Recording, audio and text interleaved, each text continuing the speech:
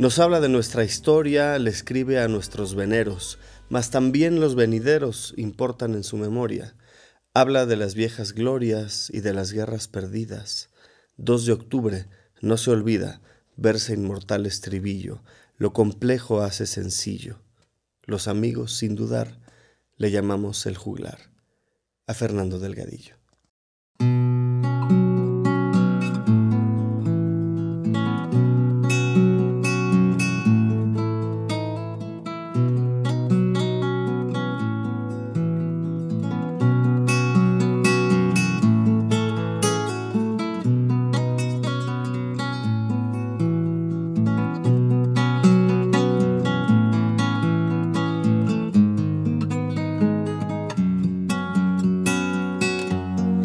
Es de verdad, ya estás aquí. Ha sido un largo tiempo de espera y la ansiedad de saber que ibas a venir me ha puesto en un estado entre llorar y reír. No hagas caso, ¿cómo te va? Ven, déjame abrazarte y ya después me dirás, siempre hay tiempo, mentira la dicha se va en tantas formas si te fuiste tú. Y el verte de nuevo me inunda de gratitud, de ventura, de felicidad. La vida un día toca la puerta, nos manda llamar, como hojas que el viento separa y después de algún tiempo la junta las vuelve a encontrar. No caben rencores, la cosa es así. Lo único que quiero mirar es que estás otra vez junto a mí.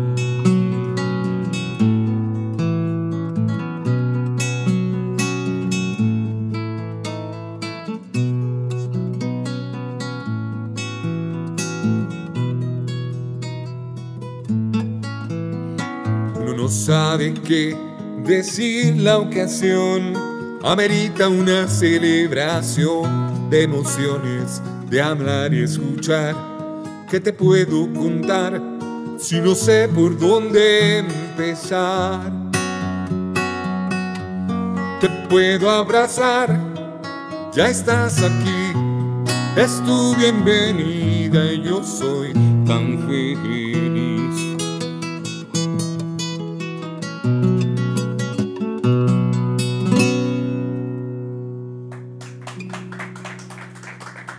Gracias. Pues bienvenidos a la sesión Fest, el programa que estamos haciendo con el maestro Fernando Delgadillo. Yo me siento muy, muy contento, Fer, de que hayas podido eh, tener el tiempo de venir a grabar estas sesiones, porque muy buena parte de mi historia como, como compositor, como alguien que se dedica a la música, tú sabes, te lo he dicho muchas veces, tiene que ver contigo, pero no soy la única persona con la que has tenido que, ver y en la que has interferido en su historia. Por eso no será indispensable que, vinieras hoy aquí y, por eso estoy más agradecido todavía. Bienvenido a las sesiones Trabafest, mi Fernando.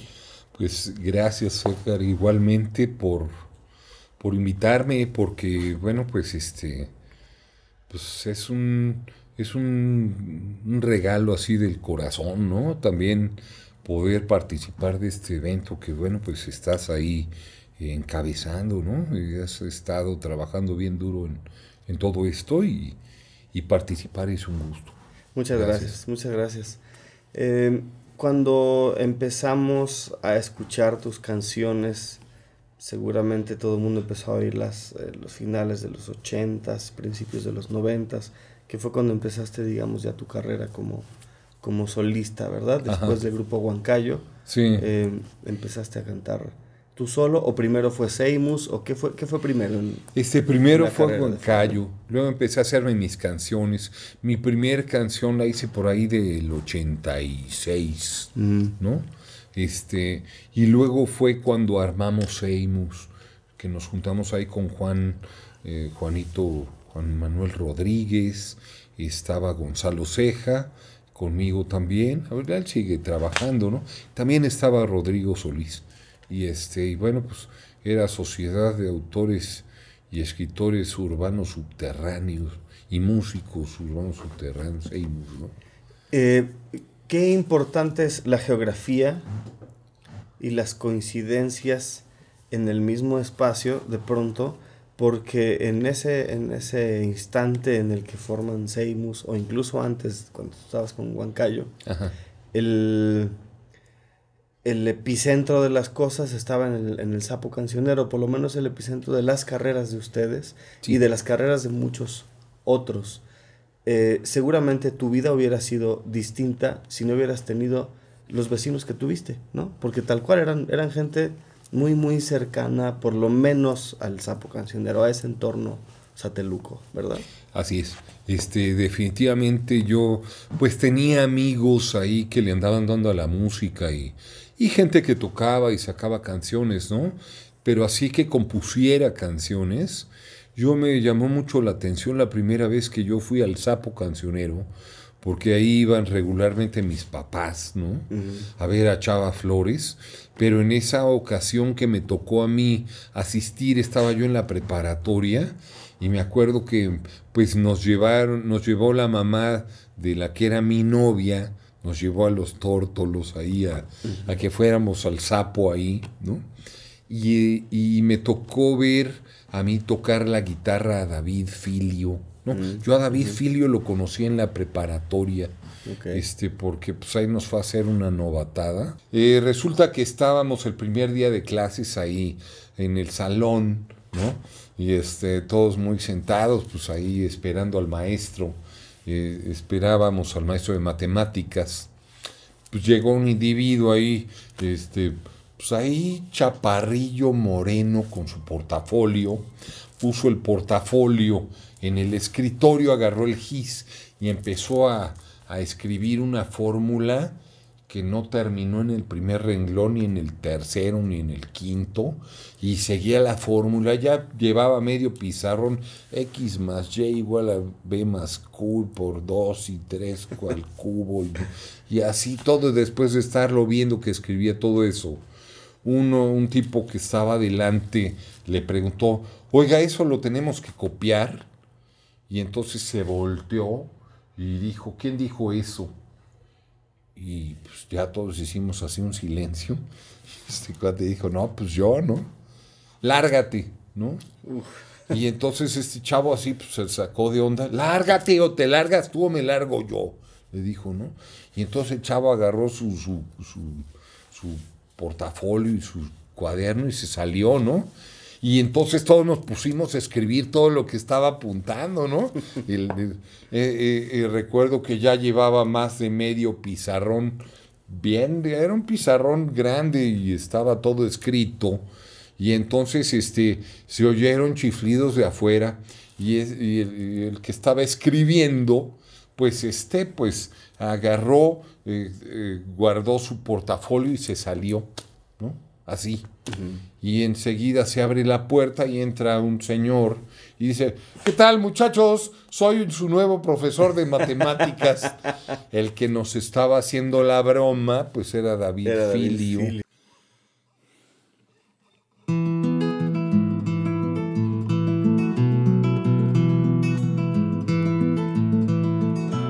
Las noches son un mar de oleaje torvo que a veces me trae recuerdos Qué recuerdos los que vuelan esta noche, de donde hace tantos años se habían quedado durmiendo. Recuerdos que me van llegando a oleadas y sugieren otros tiempos, tiempos de más. Facilidad es la palabra que hoy me falta y que hace tanto no comprendo. No tengo más que un vago sentimentalismo, dulce y triste pero viejo Viejo como el viejo sabor de viejas lágrimas y viejo como el muro de su casa, donde aparecía corriendo de la mano de su hermana, cuando la estaba queriendo más que a todo lo que quise y sobre todo lo que entiendo que quiere alguien con 10 años. Como me gustaba Julieta, En ese entonces todo venía en otros nombres, desde el amarla en secreto hasta vivir con la confianza en que me amaba tras de sus ojos risueños. Siempre se resumía en la frase acostumbrada y para mí todo lo envolvía en tres palabras ciertas como la verdad. Me gustaba Julieta, me gustaba Julieta, me gustaba Julieta cuando iba mirando a cualquier sitio sin hacerlo. Cuando imaginaba y se peinaba los cabellos negros, negros como noches y largos y largos como inviernos que nunca acababan de estar cerca ni estar lejos, solo y tan solo a mi lado, y a mi lado les recuerdo, oh, oh, me gustaba Julieta, cuando imaginaba que le amaba de hace tiempo, cuando me escribió que era su amor, cuando lo entiendo y además, cuando como hoy lo rememoro, dulce y triste como lágrimas y besos de mejilla y de la infancia de hace mucho tiempo atrás, me gustaba Julieta cuando murió su papá y se lo dijeron, cuando en la sorpresa soltó el llanto y el cuaderno en donde decía que me amaba, siempre y cuando fuera eterno como el sol. Me gustaba Julieta, cuando la llevaron a vivir con sus abuelos, cuando dejó de ir a clases con su hermana, cuando una tarde como cualquier tarde gris se me fue lejos lejos más allá de donde van todos los sueños que han venido desde entonces y esta noche. Me repiten que de niño y en las tardes me gustaba Julieta. Me gustaba Julieta, me gustaba Julieta. Julieta, dan, dan, dan, dan, dan, dan, dan, dan,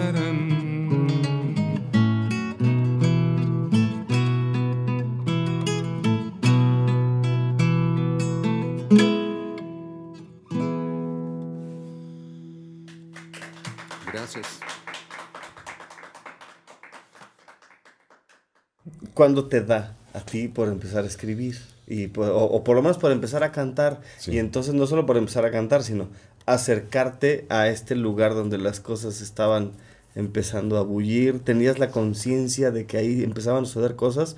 ¿O era pues la única peña que tú podías ver cercana a donde vivías? Pues este, las ganas de cantar siempre las tuve, siempre, siempre, a mí me siempre me gustó. Y en la casa cantaba mi papá y nos ponía a cantar a nosotros.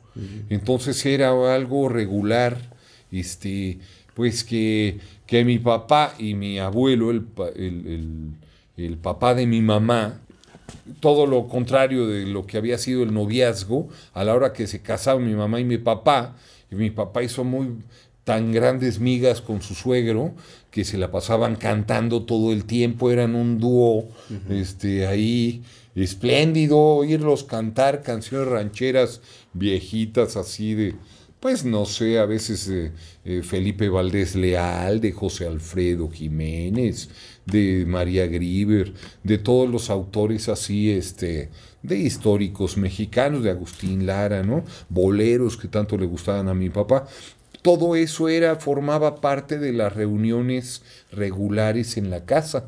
Entonces mi papá siempre fue muy admirador, como lo dijo Tony, de este de, de, Chava Flores, ¿no? Él era fan de Chava Flores, le hacía ahí un, un todo el tiempo. Era sábado y pues, oíamos regularmente dos discos completitos, el de Chava Flores y pues también el que le gustaba a mi mamá y a mi hermana de la novicia rebelde, ¿no?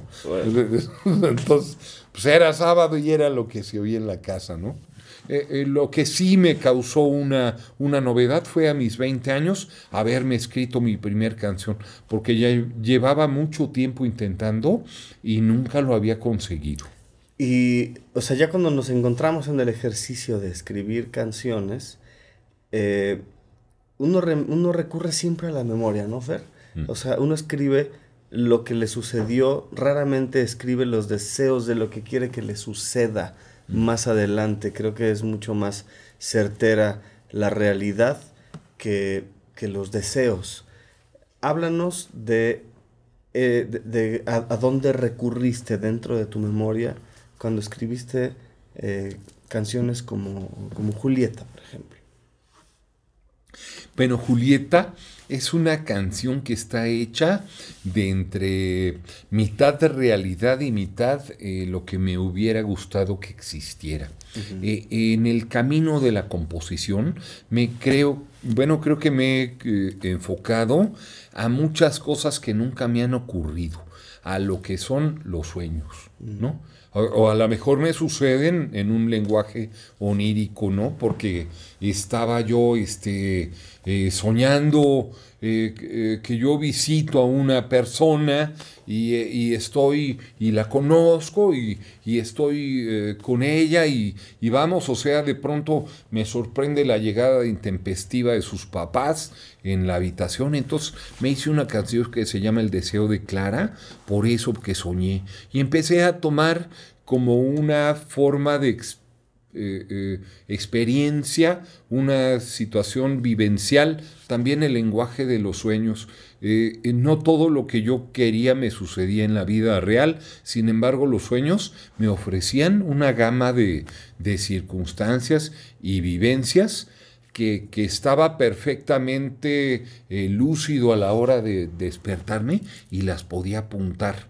Entonces, este, pues también me he valido un poco de eso eh, pero lo de Julieta era una combinación. Hace rato nos hablabas de justamente de esa luz que encendieron tus padres eh, desde tu infancia con buenas canciones, con canciones que te, que te recuerdas a la fecha. Y eso quiere decir que la música se metió de alguna manera en el ADN de, tu familia y ha habido más, eh, bueno, alguien más que ha decidido eh, revelar esta parte de su ADN, ¿no? Como José Antonio González.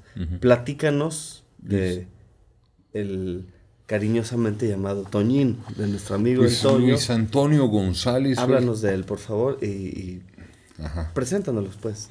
Es, es, es, somos hermanos, él decidió tomar el segundo apellido que tenemos, ¿no? Delgadillo González, somos en la casa. Este, él para hacer también su propio camino. Eh, él, también es un escritor, así como yo, tardío. Eh, es, esto es, no tiene otra, otra, otro principio ni otra, otra razón de ser, sino que anda uno buscando, anda uno aprendiendo, anda uno tomando ejemplos, pero tenemos una multidiversidad eh, eh, universal, ¿no? Al menos en el castellano. Entonces, este, creo que la, le ha tirado un poco más por el lenguaje urbano. Las canciones nos dan identidad. Una Navidad me hallé regalito en mi bota. Santa Claus me había dejado la más preciosa mascota. Un hamster pensé que era una marmota, un ratón, acaso una zarigüeya, una nutria, un camaleón, un conejillo de indias, un perro de las praderas, pero con unos colmillos que espantaban a cualquiera. Su piel se fue haciendo gruesa como un chaleco antibalas y cuando cumplió dos años le crecieron un par de alas. En el Google fui a buscar qué animal tenía ante mí, qué sorpresa fui a pasar cuando al fin lo descubrí. En el alarma encontré en las noticias macabras una foto igual a él, le llamaban chupacabras. Yo tenía mi chupacabras y era mi único tesoro. Lo alimenté con borregos, siempre yo le daba todo. Yo tenía mi chupacabras, lo cuidé desde chiquito. Él estaba muy bonito, con garritas y cuernitos. Lo dejaba en el jardín, me cantaba en las mañanas, como un gallo de pelea, nada más que él aullaba.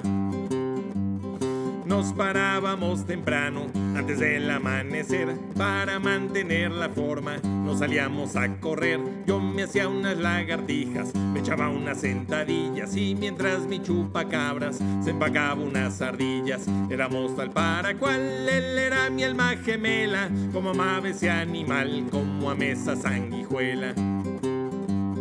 Mis vecinos me gritaban, es una bestia infernal. Yo tapaba sus orejas, no lo fueran a traumar. Con el paso de los años, creció fuerte y vigoroso. Lo alimentaba con vacas y una vez se tragó un oso. Me encantaba acariciar esa bestia del infierno y le hacía mil cariñitos a ese engendro del averno mis vecinos proclamaban, maten esa aberración, quémenlo con leña verde hasta que se haga carbón. Pero mi buen chupacabras siempre se escapó del mal, él podía desvanecerse, era sobrenatural.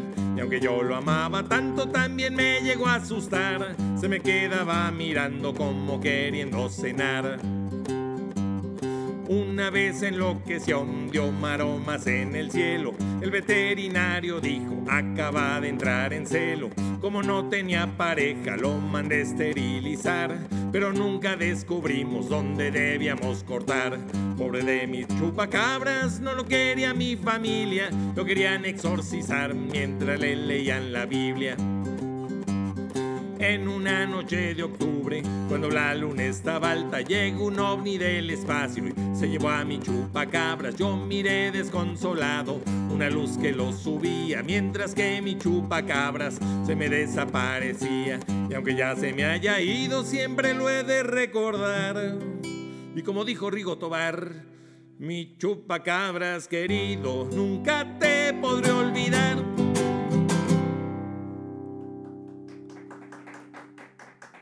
Gracias, gracias. Gracias. Pues hoy estamos con Luis Antonio González, que es invitado de Fernando Delgadillo y a quien, bueno, yo personalmente ya conozco hace mucho tiempo. Y cuando te escucho cantar, mi querido Luis Antonio, primero bienvenido gracias. A, la, sesión Estroba Fest, bienvenido. Muchas gracias. Eh, no sé hacia qué momento de la vida transportarme porque de repente me llevas a los 80 y a la mística del chupacabras, como la canción que acabamos de escuchar ahorita.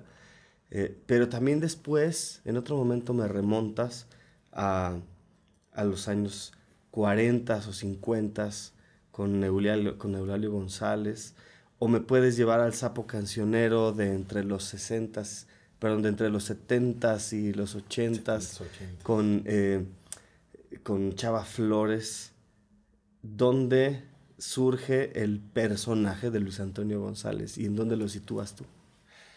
Híjole, qué buena pregunta. Pues este, la verdad es que pues hoy hay fusión de muchas culturas, ¿no? De, muchos tiempos. En la casa ahí escuchábamos mucho, pues de por mi papá me ponía Chava Flores, Cricri, y este, y entonces, pues no sé, también pues la vida que ya lleva uno, pues tomando su, curso en, los 80s, 90 ¿no? Yo soy de, yo nací en el 70, entonces pues sí me tocó escuchar un poquito todavía de Chava Flores cuando estaba vivo. Mm. Pero pues me tocó escuchar al Rodrigo González, a Jaime López, y entonces, este, pues como que ahí me he ido robando, se me han ido pegando ideas de, de todos lados, ¿no? Las canciones las hago junto con un amigo que se llama René Díaz. Mm. Este, él es un par de años mayor que yo y entonces pues como que los dos ahí nos juntamos a hacer eh, pues estas descomposiciones, ¿no? Realmente porque pues aunque parezca que, que, sí son canciones, pero todo, los, todo nace en el ocio, ¿no? ¿Y eh, en qué momento de tu vida eh, decides primero empezar a escribir rolas con tu compañero o antes solo? Y después, ¿en qué momento em, decides empezar a cantarlas ante el público? Porque también yo tengo, a pesar de tener tiempo de conocerte, tengo muy poco tiempo de estarte escuchando en los escenarios. Pero desde la primera vez que, que yo oí una canción tuya, que estábamos en Guatemala en una fiesta después de un concierto, eh, obviamente no era algo que acababa de empezar, esto esto era algo que venía de tiempo atrás. ¿Cuándo decides tú empezar a escribir canciones y después mostrarlas ante el público? Pues eh, esto de eh, empezar a, descomponer canciones o a, hacer estas rolas ociosas, lo empezamos hace como unos 15, 20 años entre René y yo. Realmente descomponíamos. Este, estábamos haciendo parodias muy malas. Hay una que otra más o menos, ¿no? Pero realmente nunca eh, vieron la luz, ¿no? Este, e hicimos un par de canciones, dos o tres canciones hace mucho tiempo, pues te digo, hace como 15 años. Y, después empecé a trabajar con, el maestro Fernando y este... Y en una reunión ahí de, compositores allá en Monterrey, fue que pues, me puse a cantar pues, las tres canciones que tenía. Y este, y pues les gustó, ¿no? Me, me dije, oye, ¿por qué no te pones a, escribir? Y, bueno, sí, les tomé la palabra, me, animé a subir ahí en la tumba en Monterrey por primera vez. Me fue muy mal, ¿no? Se me olvidó media canción, ¿no? de las tres que tenía. Pero bueno, este, pues la gente como no se la sabía ni la conocía, ni me pelaron mucho. Se dieron. Este, pues no se dieron mucho cuenta, ¿no? Pero de ahí surgió la idea, ¿no? Empecé a hablar con René, oye, vamos a, hacer este, canciones más... Pues hay que hacer más canciones más bien, ¿no? Y empezamos a trabajar los dos. A él no le gusta salir en la, al escenario, ¿no? Él prefiere el anonimato, ¿no? Pero entre pues, los dos hemos hecho, hay buena mancuerna para, para hacer estas canciones, ¿no? Pues yo te agradezco muchísimo, mi querido Luis Antonio, que hayas venido con nosotros este día, eh, que, hayas, que nos hayas regalado este momento de buen humor y de relajación y de abrir el corazón, porque la risa abre el corazón, abre la mente y permite que muchísimas otras cosas pasen de la mano. Así que muchas gracias, bienvenido a la sesión Astrobafest y bravo. Muchas gracias Edgar por, por la invitación. Gracias, mi Toño. Seguimos aquí en la sesión Astrobafest recurrimos a argumentos, recurrimos a historias que a veces pueden ser una combinación de ficción y de realidad, pero también, en, y en tu caso es muy notorio, que has escrito sobre cosas que tú no viviste, mm. pero que son parte de tu bagaje literario. Y en este momento quiero hablar específicamente de las canciones que tienen cierta reminiscencia prehispánica como la, primera estrella de la tarde, y como esas canciones que a nosotros en cierto momento nos dieron una identidad. Tú encontraste una identidad y entonces nos la compartiste, o por qué empezaste a escribir sobre ese tipo de temas que tenían mucho que ver con una mexicanidad que a los adolescentes de los años 90 nos hacía falta encontrar. ¿Dónde encontraste tú esa identidad? Pues precisamente por eso andaba yo queriendo escribir canciones, porque yo, de, yo, yo me pasaba que, bueno, yo siempre he sido admirador de los escritores de canciones. Desde niño, Cricri era lo máximo, pero pues en el camino me encontré a Serrat, y luego me encontré a Silvio y me encontraba a tantos autores eh, eh, que, que me, me, daban una identidad básicamente por eso, porque siento que las canciones nos dan identidad. ¿no?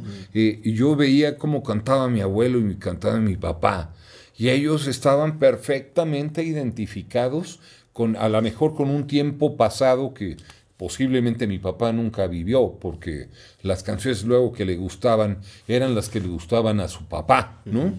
Eh, entonces, este, esta, esta esta eh, relación que tiene las formas artísticas, no nomás las canciones, ¿no?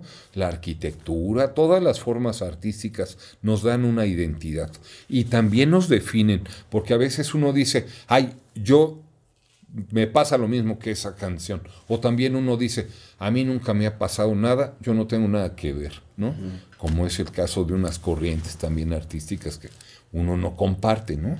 Pero este, pero sí, este, pues no sé, yo sentía que, si yo no hacía una canción, pues a lo mejor no lo iba a hacer nadie, porque, porque no lo habían hecho, porque este, el ejemplo era evidente hasta la fecha, no, no existía, ¿no? Entonces, no sé, de repente me pegó por, por oye, pues todo el, cada vez que yo salía a una, ahí para la casa del lago y que, que ahí de repente ahí empezaba uno a cantarse sus canciones, pues había mucha banda que, que estaba gritando continuamente esto de no se olvida, 2 de octubre no se olvida, ¿no? Entonces dije, bueno, pues vamos a hacer una canción de 2 de octubre, no se olvida, ¿no? Por ejemplo. Eh, eh, y, así es un poco la dinámica. Cuando apareció en una canción de Silvio, este, una que se llama La Resurrección, ¿no? Eh, y habla de, de, bueno, pues con, con diferentes elementos va hablando de la resurrección, ¿no? Los muertos son estrellas que no tienen revés, dice al final, ¿no?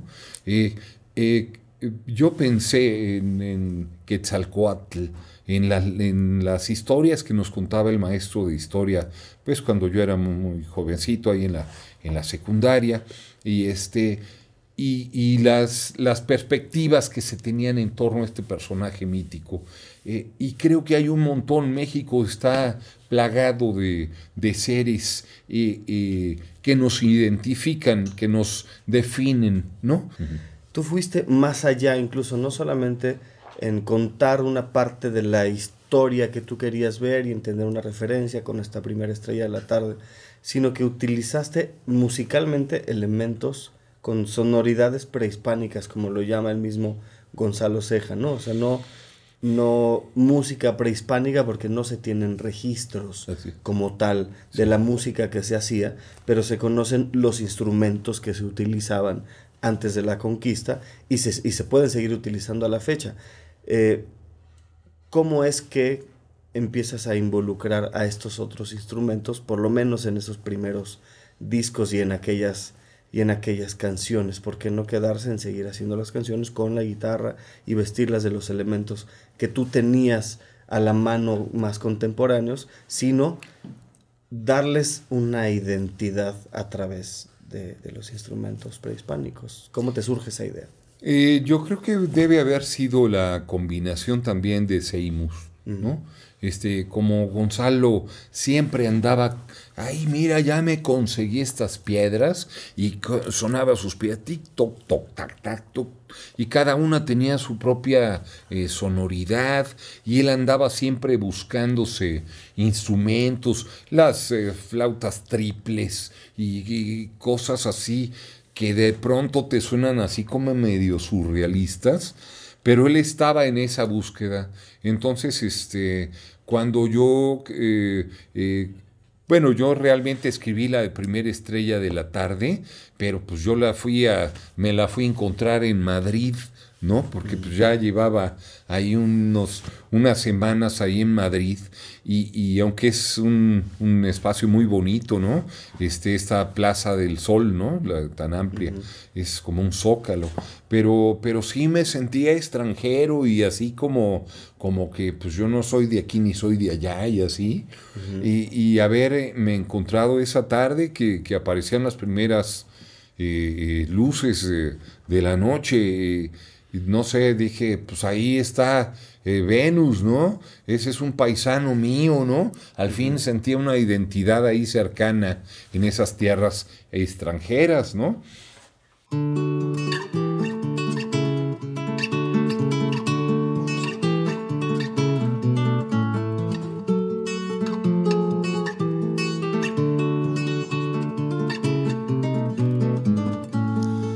Todo fue principio enero para levantar el vuelo, así nomás vino a pasar el tiempo de empezar.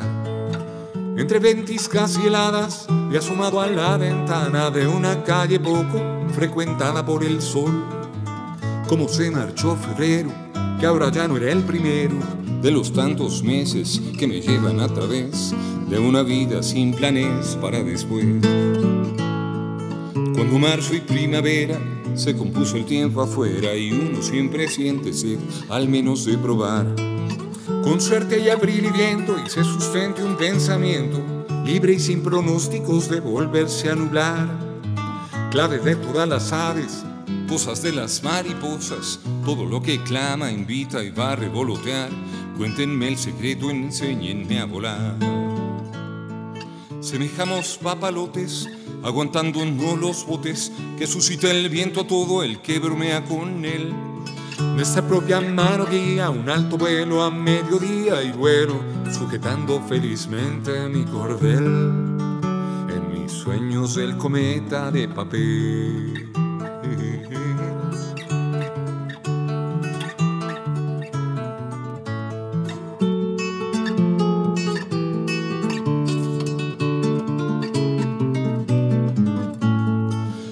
Del cielo de mayo que me mira de soslayo el tiempo que dura mi vuelo, cosa que no sé.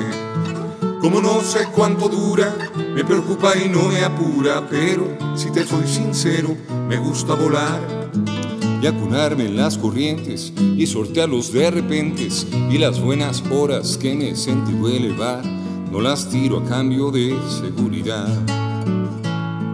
Solo somos papalotes eludiendo los rebotes que nos manda el viento a todo el que se tiene en él. Si tu propia mano guía un alto vuelo a mediodía y vuelas sujetando suave y firme tu cordel. Hoy invita el viento, ven y ya montate en él. Levantemos los cometas de papel.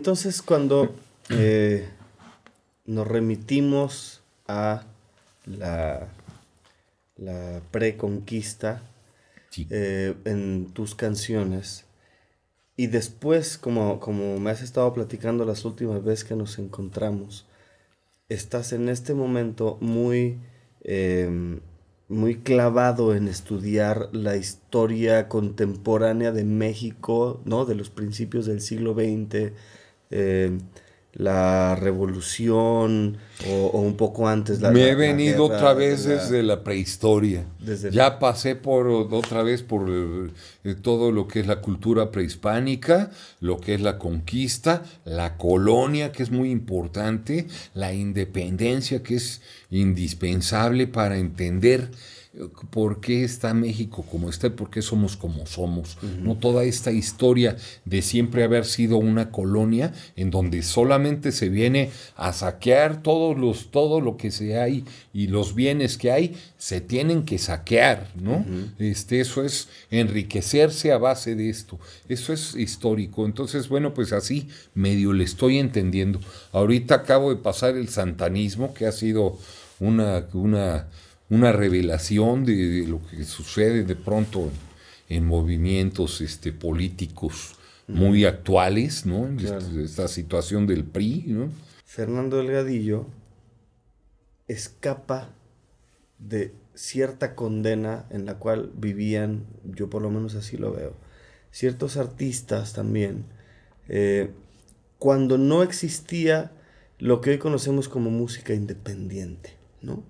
Cuando eh, probablemente la gente a la que tú conocías cercana a tu generación, pero hacia arriba, querían ser artistas, Sí, en ese tiempo o eras eh, José José sí. o no existías, ¿no? Sí. O sea, o eras ultra famoso y salías en siempre en domingo y te daban tu patadita, o simplemente no, no podías subsistir. Sí.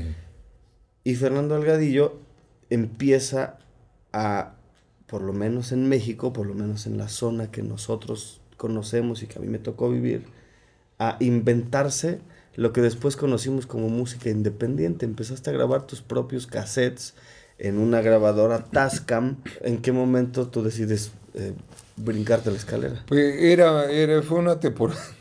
es, es una historia así como cualquiera. Realmente una cosa llevó a otra, como se ha dicho, ¿no? Ah, resulta que me había yo salido de la casa. Me peleé con mi mamá. Me había dejado la universidad y tenía pleitos diarios.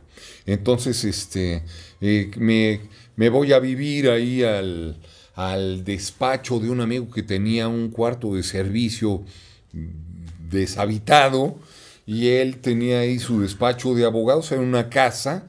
En ese tiempo me mantenía yo de dar clases de guitarra, enseñaba canciones y, y también eh, tenía para presentarme en el Sapo Cancionero, pues ahí estaba yo eh, haciendo covers y también eh, pues de pronto acomodando mis canciones, ¿no? Entonces, este, lo que, lo que se me ocurrió, como yo llegaba y cantaba mis canciones y me felicitaba el público del Sapo y me decía, oye, ¿dónde podemos oír esta canción?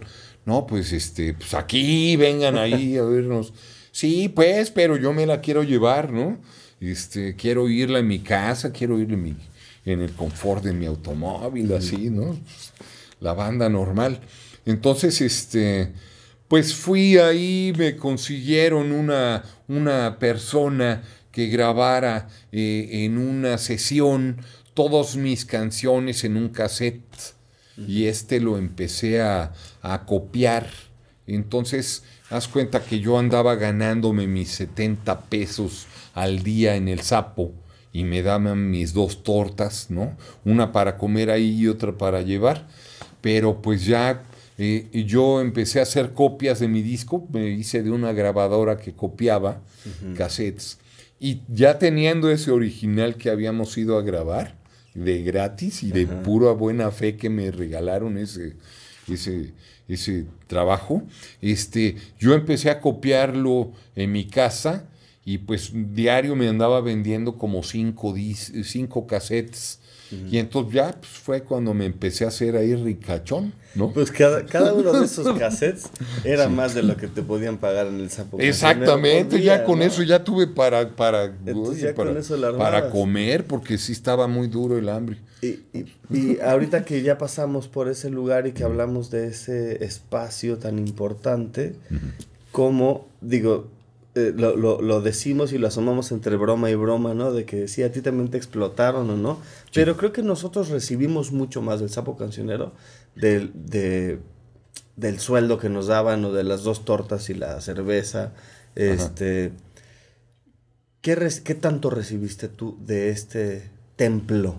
Porque para, para mí es un templo a la fecha, es un templo de adoración, es un templo al que le debo muchísimas cosas. ¿Qué fue lo que Fernando Delgadillo, él, el, joven que estaba empezando a escribir y a grabar sus cassettes, recibió del sapo cancionero?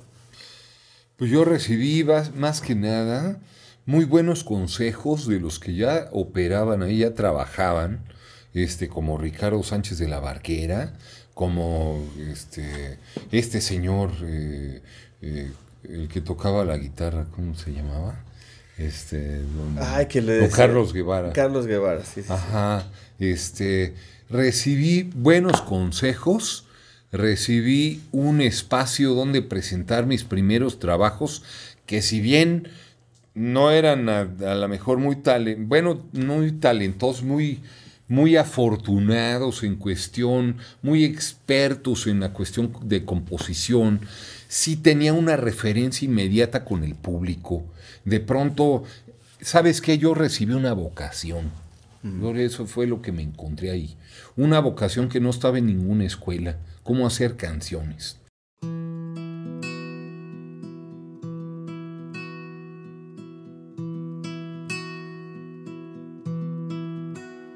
A donde mires vas a estar, amor, mirándome diciéndome todo pudo ser mejor y no vas a tenerme ya en la paz para que aprendiera a darte lo que tú me das. Hoy sabrás que permanezco ausente en el vacío insistente de tu anhelo. Los cielos que amanecen son más otros cielos, los vientos que ahora soplan no son vientos nuestros, tuyos cuánto tanto tarda. El momento de la calma ya. A donde mires vas a ver que está la rubia luz, sin mí, sin tú, sonrisa para ampliarla en sus espacios. A donde mires bien no habrá nubes que descarguen estas lluvias de momentos que te esperan cuando no tengas el sueño más completo que pude hacer para ti. A donde mires, a donde pases y camines, a donde vayas cuando no haya dónde ir. A donde mires, no. A donde mires fue, a donde mires más. Cuando sones al recuento de los días. Cuando vuelvas en las noches, cuando llores y sonrías, cuando abarque el horizonte, cuando abarque tu horizonte desde jamás. Lo sé porque en mí también se siente igual. Cuando apago tu recuerdo en la solitaria costa frente al mar.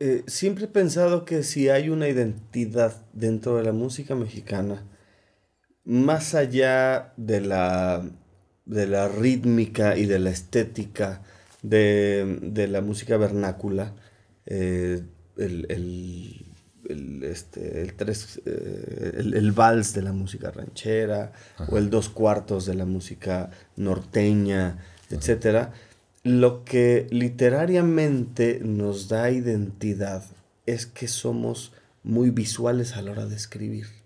Utilizamos mucho las imágenes, ¿no? O sea, cualquier canción que uno, se que, que uno traiga a, a colación de, no sé, José Alfredo Jiménez, Sí. siempre empieza con una imagen, ¿no? Estoy en el rincón de una cantina oyendo la canción que no pedí ya te situó, ya te, ya te puso la película enfrente. Y creo que esa es una de las características de la música mexicana como tal. Y en el caso de La Bañera, me parece haber llegado a un punto eh, como, como ejemplar de esto, ¿no?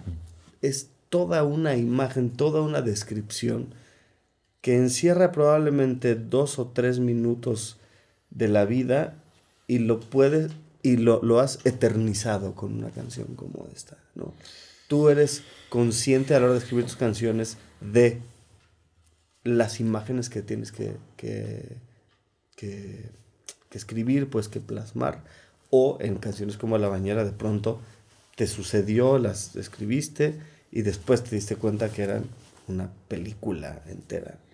Eh, en el caso de La Bañera, como del 80% de las canciones que he escrito, eh, están hechas de sueños. Esa, cosa, esa, esa canción yo la soñé. Estaba yo soñando que se bañaba la que era, pues, mi pareja sentimental. Sin embargo, en ese momento yo no tenía pareja, pero en los sueños todo te pasa. Y tú reconoces a la persona que está tomando una ducha. No la veo, pero, pero sin embargo, una constante en los sueños, en mi caso, es que se me olvidan. ¿no? Por eso, por eso eh, concluye con esto de para verte cuando escribo, no sea que desaparezcas, porque, porque siempre se me olvidan mis sueños. Eh, en torno a los sueños hay todo una, una, eh, bueno, un universo desconocido. ¿no?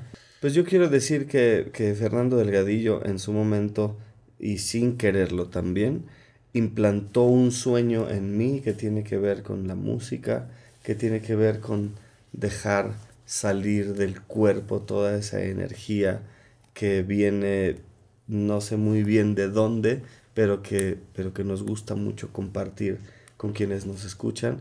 Yo te agradezco mucho, eh, Fer, no solamente esa inspiración primaria, sino la, eh, la amistad que me has brindado desde hace tantos años, la cercanía que me brindas ahora y la oportunidad de, de estar, de estar contigo conversando en las sesiones Trovafest. Muchas gracias.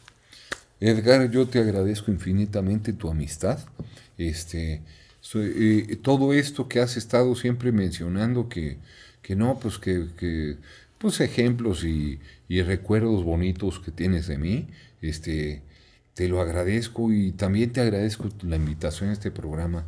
Este, me parece muy, muy grato, muy feliz eh, también contarme entre tus amigos. Pues muchas gracias, así lo eres. Y pues señores, Fernando Delgadillo en la sesión Estrova Fest. Fuerte el aplauso y bienvenidos. Gracias, gracias.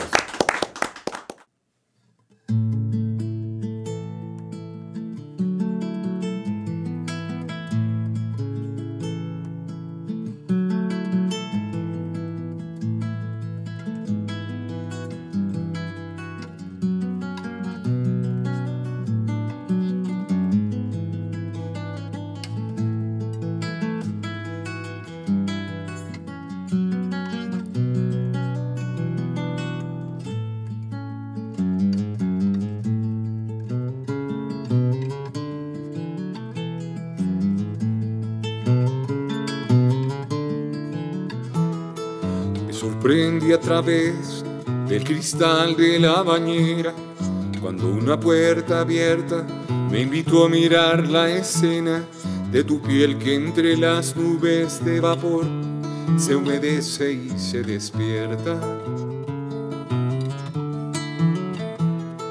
El agua cae constante, te recorre y busca el suelo. Recuerdo que en la tarde era yo quien medía tu cuerpo con la constancia de quien descubre eso que anda buscando y aún así, y aún así, y aún así, y aún así se da su tiempo. y te miro a través del cristal de la bañera. Recoges el jabón y me concentro en tus caderas. Lo pasas por tu piel tan dulcemente que le envidio su carrera.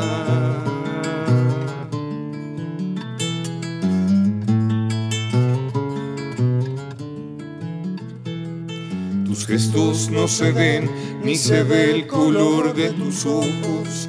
Disueltos con vapor tus labios, no llevan su tono usual de rojo.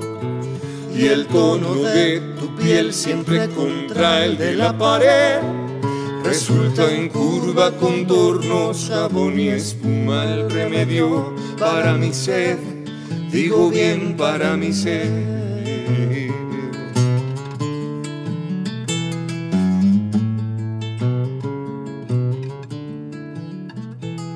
Te estoy mirando a través del cristal de la bañera.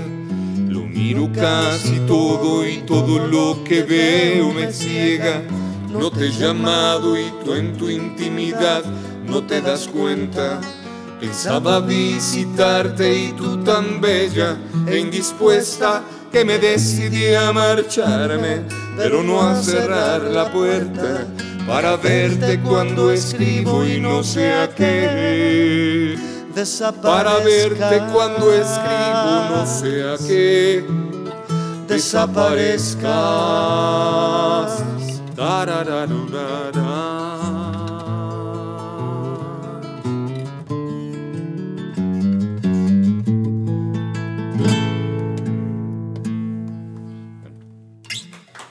Yeah. Gracias. Fernando Delgadillo en la sesión Estrova Fest.